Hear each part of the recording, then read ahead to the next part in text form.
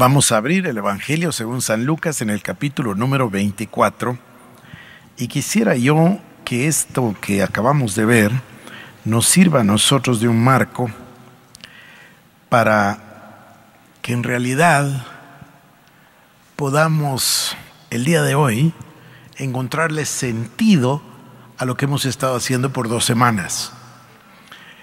Empezamos diciendo que había diversas maneras de tender un hilo conductor que nos demostrara que la Biblia es una unidad con un solo propósito, con un solo mensaje, con un solo autor que es el Espíritu Santo, y que comprender eso nos llevaría a nosotros a la capacidad de interpretar la palabra y por supuesto de vivirla. Entonces, hemos visto nosotros eh, durante todos estos días, escogimos el tema de los reinos, perdón, del reino, lo vimos el reino original, el reino destruido, el reino profetizado, el reino vivido, el reino, eh, em, no, perdón, prometido, vivido, profetizado, luego manifiesto. Bueno, nosotros quisiéramos um, leer este pasaje, yo quisiera leer este pasaje, si ustedes me acompañan. Y aquí dos de ellos iban el mismo día a una aldea llamada Emaús, que estaba a 60 estadios de Jerusalén. E iban hablando entre sí de todas aquellas cosas que habían acontecido. Sucedió que mientras hablaban y discutían entre sí, Jesús mismo se acercó y caminaba con ellos. Mas los ojos de ellos estaban velados porque no, para que no le conociesen. Esta es una palabra importante para nosotros, velados. Los ojos estaban velados. Se necesita estar velado para que haya una revelación. Entonces dice, y les dijo, ¿qué pláticas son estas que tenéis entre vosotros mientras camináis? ¿Y por qué estáis tristes? Respondió uno de ellos que se llamaba Cleofas y le dijo, ¿eres tú el único forastero en Jerusalén que no has sabido las cosas que en ella han acontecido en estos días? Entonces se les dijo, ¿qué cosas? Y ellos le dijeron, de Jesús Nazareno, que fue varón profeta, poderoso en obra y en palabra, delante de Dios y de todo el pueblo. Y cómo le entregaron los principales sacerdotes y nuestros gobernantes a sentencia de muerte y, fue, y le crucificaron. Pero nosotros esperábamos que Él era el que había de redimir a Israel. Y además ahora, después de todo esto, Hoy es ya el tercer día que esto ha acontecido. Aunque también nos han asombrado unas mujeres de entre nosotros, las que antes del día fueron al sepulcro, y como no hallaron su cuerpo, vinieron diciendo que también habían visto visión de ángeles, quienes dijeron que Él vive. Y fueron algunos de los nuestros al sepulcro y hallaron así como las mujeres habían dicho, pero a Él no le vieron. Entonces se les dijo, oh insensatos y tardos de corazón para creer todo lo que los profetas han dicho. ¿No era necesario que el Cristo padeciera estas cosas y que entrara en su gloria? Y comenzando desde Moisés y siguiendo por todos los profetas, les declaraba en todas las escrituras lo que de él decían. Llegaron a la aldea donde iban y él hizo como que iba más lejos mas ellos le obligaron a quedarse diciendo, quédate con nosotros porque se hace tarde y el día ya ha declinado. Entró pues a quedarse con ellos y aconteció que estando sentado con ellos a la mesa, tomó el pan y lo bendijo, lo partió y les dio. Entonces les fueron abiertos los ojos y le reconocieron, mas él se desapareció de su vista. Y se decían el uno al otro, ¿no ardía nuestro corazón en nosotros mientras nos hablaba en el camino cuando nos abría las escrituras? Y levantándose en la misma hora volvieron a Jerusalén y hallaron a los once reunidos y a los que estaban con ellos que decían, ha resucitado el Señor verdaderamente. Por supuesto, todos desearán leer el pasaje completo y lo pueden hacer más tarde. Yo solamente quiero llevarles para acá a unos breves pasajes solo para realmente enfatizar el mensaje que he querido transmitir todos estos días. Ellos no podían reconocerle, versículo 18, porque sus ojos estaban velados. Si eres tú el único forastero en Jerusalén que no sabe qué ha pasado, porque no se daban cuenta. Ellos estaban muy decepcionados por la muerte de Jesús, porque esperaban que Él fuera el que había de redimir a Israel. Verso 21. Eso era precisamente lo que había sucedido. Acababa de suceder, pero ellos eran incapaces de verlo porque carecían de un entendimiento correcto o interpretación correcta de las escrituras. Sus ojos estaban velados porque no habían llegado a poder recibir la revelación.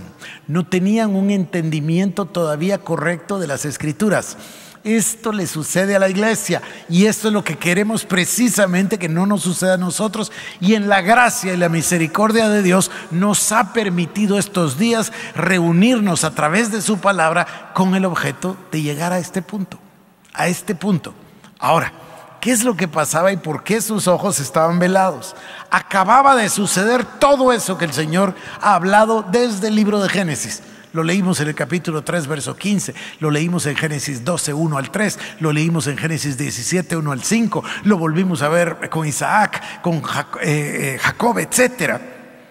El Señor no les ha revelado, por, a ver, no es que no les ha revelado, ellos son incapaces de verlo porque carecen de un entendimiento de las escrituras. Entonces el Señor les amonesta, verso 27, por su falta de entendimiento pero en la gracia y misericordia divino al mismo tiempo les provee la clave que se necesita para interpretar toda la escritura correctamente. Versos 25 al 27. La palabra declarar es interpretar o explicar con precisión, con detalle, minuciosamente. Verso 27. Él ni forzó la escritura ni la espiritualizó sino que simplemente les enseñó que todo el Antiguo Testamento habla de Él. Solamente interpretó las escrituras de acuerdo a su significado. El velo fue removido, que les dijo, oh insensatos y tardos de corazón, pero el velo fue removido en el instante que ellos comprendieron que toda la escritura habla de Él de Jesús. Yo voy a llegar más lejos hoy en la noche. Voy a llegar en un instante porque estoy al final. Pero déjenme entonces avanzar. Verso 32. ¿Acaso no ardía nuestro corazón? ¿Cuándo ardía el corazón? Cuando les fue revelado. Toda la escritura tiene un solo objetivo y el objetivo es Cristo. Voy a llegar más lejos, pero déjenme mostrarle dos conceptos. Mejor llego acá. El objetivo es Cristo. Él es el verbo. Él es la palabra. Él es la razón de la Biblia. No cometo un error si digo, Él es la Biblia. Por eso la Biblia es perfecta, porque la Biblia nos habla de Él. No podemos vivir una vida cristiana, no podemos enseñar de cristianismo, no podemos interpretar la Biblia a menos que el velo sea quitado. Y el velo va a ser quitado. Y vamos a ver la palabra con claridad cuando, cuando entendamos, cuando comprendamos que la palabra de Dios solamente es hacia Cristo. Toda la palabra es para Cristo hacia Cristo es Cristo. Todo el mensaje es el mensaje de Jesús, el Evangelio. Ahora, Jesús pasó los próximos 40 días con ellos y les dio un curso intensivo. Y en el curso intensivo les enseñó precisamente este principio. Les enseñó al revelarles, se dieron cuenta de que todo lo que ha transcurrido en los cuatro evangelios, todo lo que el Señor hizo, todo lo que habló, todo lo que dijo y todo lo que demostró estaba escrito. Ni una cosa dejó de estar escrita. Él es el cumplimiento de la ley. Entonces, ellos aprendieron, fueron transformados completamente. Y ustedes van a ver en el libro de Hechos de los Apóstoles, en el capítulo 2, en el capítulo 4, en el capítulo 7, en el capítulo 11 ¿Cómo se levantan todos? ¿Cuál es el primer discurso de Pedro? Esto es lo que dijo el profeta Joel. ¿Y cuál es el Esteban? Esto es lo que el Señor nos anunció desde Moisés.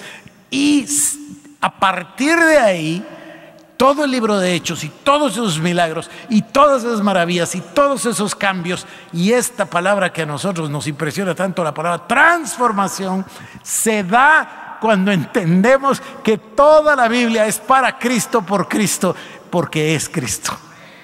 Entonces el Evangelio toma sentido y nuestros ojos reciben una revelación. El velo se nos quita. Empezaremos a profetizar todo, a predicar todo, a hablar todo, a entender todo, a comprender todo a través de una verdad. Todo es para Cristo. Todo es Cristo. Él es la plenitud que todo lo llena en todos. Cristo es el Hijo de Dios. Cristo es Dios. Cristo es el Cordero Pascual. Cristo es el Verbo. Cristo es la palabra. Cristo es el Hijo de Dios. Toda la Biblia y toda la vida cristiana solo tiene interpretación a través de un sentido, Cristo. Toda nuestra vida, Cristo. Todo por Él, todo para Él. Todas las cosas fueron hechas por Él y para Él, sí, pero todas por Él subsisten y todas las cosas las sostiene con la palabra de su poder. Él está aquí. Y al irse dijo, no los dejaré huérfanos, les dejaré mi espíritu. Y el Espíritu Santo vino. ¿Y qué dice la palabra? Que el Espíritu Santo da testimonio de Cristo. Entonces, esto es lo que en realidad el Señor quiere transmitirnos y esto es lo que tratamos de hacer. ¿Qué nos falta? Nos falta y ya, ya avanzaremos sobre, sobre el reino eh, manifiesto, el reino proclamado y sobre todo ya hablaremos del reino por venir, ya tendremos tiempo, pero este es el fondo del asunto. No tiene nada sentido si nosotros no comprendemos esta verdad. Toda la palabra es el anuncio de Cristo. Y el Nuevo Testamento la manifestación de Cristo. Y el final del Nuevo Testamento nos habla de lo que va a venir a ser Cristo. Entonces, esto de verdad puede cambiar nuestras vidas en todo sentido. Yo les sugiero que ustedes lean, porque el pasaje de los once también es significativo, pero que a esa luz, no sé si nos va a dar tiempo, eh, mañana o a lo mejor un momento el domingo, pero bien puedo yo señalarles a ustedes los pasajes, ustedes los conocen perfectamente, el discurso de Pedro, el de Esteban y por supuesto Pablo, cómo toman, ellos entendieron lo que Jesús hizo, lo comprendieron Ah, por eso nos hablaba lo que dijo Miqueas y Nahum y, y y lo que dijo Génesis y lo que dice Éxodo y por eso nos recuerda lo que dijo el profeta Moisés y por eso nos dice lo que dijo Isaías. Entonces entendieron que toda la Biblia es un escenario para él. Y entonces entendieron cómo predicaba él. Él tomaba la palabra, como yo les dije, no la forzaba, no la malinterpretaba, no tenía que espiritualizarla simple y sencillamente demostraba que todo habla de Él. Y eso es lo simple que nosotros debemos hacer, predicar a Jesús, predicar la palabra de Dios, demostrar quién es el Cristo. Él es el mismo, ayer, hoy y por los siglos de los siglos. Y entonces vamos a ser discípulos, porque la palabra dice, él le dijo a los judíos que habían creído, o sea que eran creyentes, si permanecen en mi palabra y mi palabra permanece en ustedes, entonces seréis verdaderamente mis discípulos. O sea que hay una gran diferencia entre creyente y discípulo. El gran paso ahí en medio es esta revelación. Vivimos para Cristo, vivimos por Cristo y nada tiene sentido fuera de Cristo. Entonces, esta interpretación, esta manera de, por supuesto que esto se llama hermenéutica, esto se llama exégesis, interpretación, pero eso es irrelevante. El punto es entender el fondo. El fondo es Jesús, el Cristo, el Hijo de Dios que vino a la tierra, cumplió toda la palabra. Y nosotros estamos esperando sus profecías, pero también, piensen un instante lo que nos falta. El reino manifiesto es Él los cuatro evangelios. El reino proclamado es lo que él habló, más lo que hablaron los apóstoles en el libro de Hechos. Pero después tenemos las cartas. Y las cartas son el fundamento teológico de cómo vivir la vida como cristianos. Y ahí es donde vamos a aprender cómo se vive. Incluso toma el Señor ejemplos de una ciudad tan depravada como Corinto y le escribe Pablo dos cartas y escribe qué hay que hacer con los pecadores y también cómo se pueden arrepentir y cómo podemos ejercitar la misericordia y la compasión. Nos enseña a vivir como cristianos. Y de ahí nos da el libro de Apocalipsis, que nos dice que Él viene pronto.